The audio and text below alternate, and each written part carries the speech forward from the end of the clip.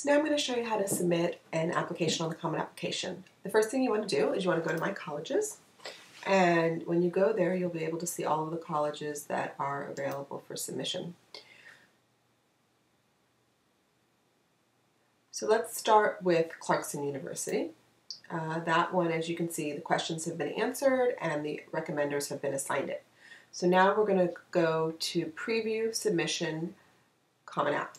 Click that on and then when you get this screen that says preview and submit, you know you're ready to move forward.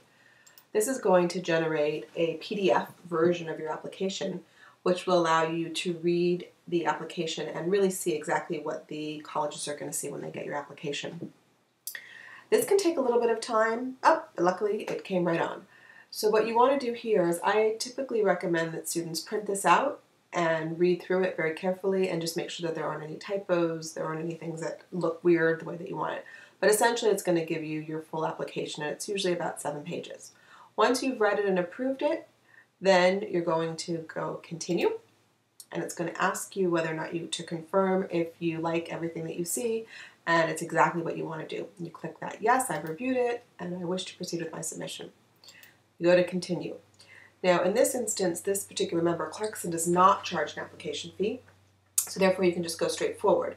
In the instance that a school did charge you an application fee, it would tell you how much the fee would be, and then when you click continue, it will take you to a place to enter in your credit card or your payment information. If you have a fee waiver, that's another place where you can put that in.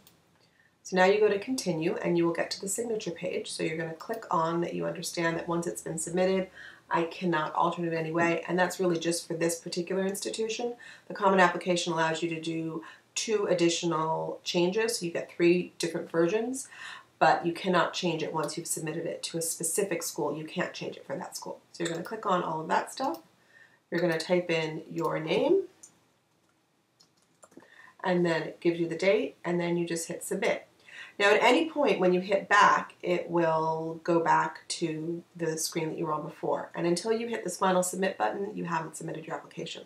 So once you hit submit, click, then you're done and you've submitted it. And you should get a screen that will say, thank you for your submission.